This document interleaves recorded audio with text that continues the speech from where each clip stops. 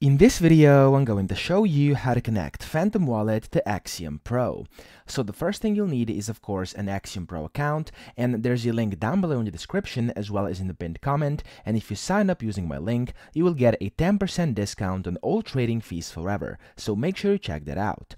Now, once you've done that, and once you have your Axiom Pro account, of course you will also need a Phantom Wallet, so your Phantom account over here, you can use this either on your mobile device or over here as an extension on your computer. And once you have both, we can continue.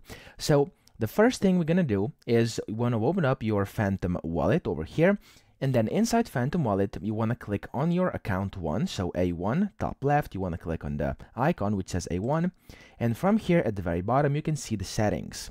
Click on those settings. And from here, click on account 1, or if you have multiple accounts, you want to click on the account or the wallet which you would like to connect to Axiom Pro. So we're going to go with account 1 over here.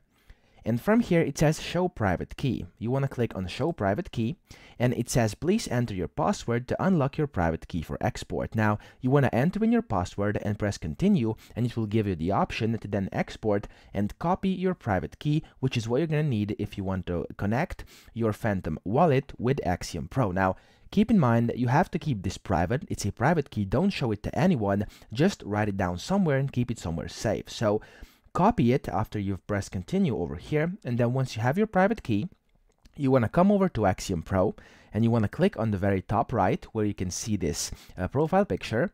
Click on accounts and security.